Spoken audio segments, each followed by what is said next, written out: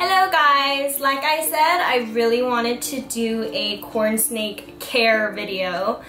Um, but I haven't really got the chance to do it until today, so I'm super excited because this is kind of the reason why I wanted to start vlogging again. I think I should take off my bracelet. Maybe that should be a fact. Take off your jewelry. Got it.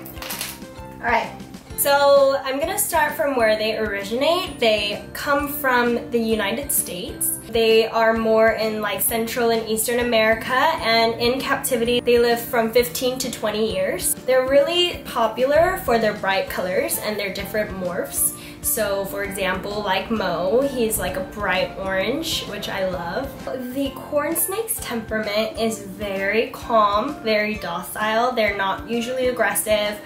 Um, and I would have to agree with that statement. Mo is super nice, very easy to love. When they are younger, they tend to shed a lot more frequently than when they get older because they're growing so fast. So Mo is actually shedding about once a month. Um, and when he sheds, his colors dull out and his eyes become cloudy. So, he, oh. Whenever they shed, you want to just double check their shed, make sure it's a full shed, meaning that the eye caps are also on the shed as well as like every scale because if it's not on the shed it's probably on your snake. If your snake has stuck shed it's not a big deal you just want to soak them in a lukewarm bath. For him I would say a quarter inch of water and um, let him sit for 15 to 30 minutes, and then once he's done, get a paper towel and just very lightly, excuse me Mo, can I use my finger? Thank you. Just lightly rub them so that the shed comes off.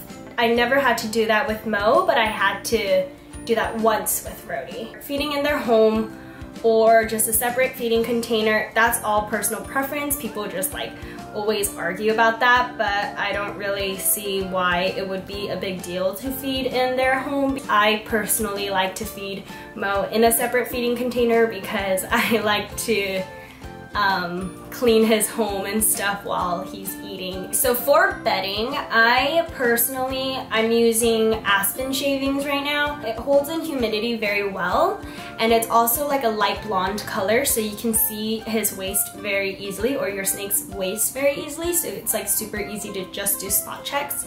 But on the downside, it is kind of dusty and um, too much dust is very harmful for the snake. You can buy um, 24 quarts for $12 on Amazon. And this is what I purchased, but when I run out of this bag, I'll probably switch over to coconut husk mulch, which is the next thing that I'll be talking about. And that also holds in humidity very well. And it's a really nice brown color and it I'm mostly just switching over because it looks better, but also since it's brown, it's harder to just spot check.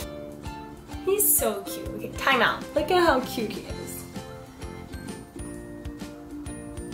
okay, I'm gonna put him down. Okay, yeah, so where was I? You can also get that on Amazon, a 24 quart for $1169. And that link will also be in the description. For humidity, they don't require a specific humidity level, but you just wanna make sure that it's not too dry or it's not too humid. Because if it's too humid, then you know, they could get respiratory infections. During the shedding process, it would be very helpful to just lightly mist the home um, so that they can shed better.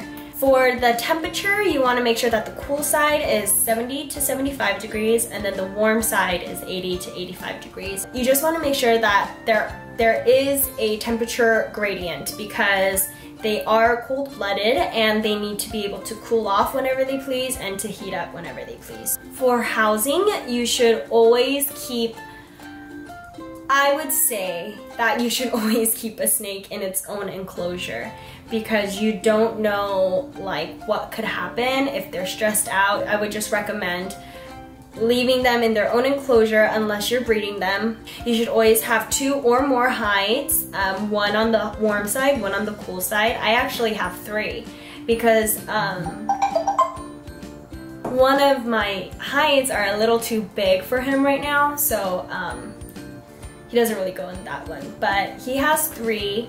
And for the plants, you want to make sure that you're using fake plants or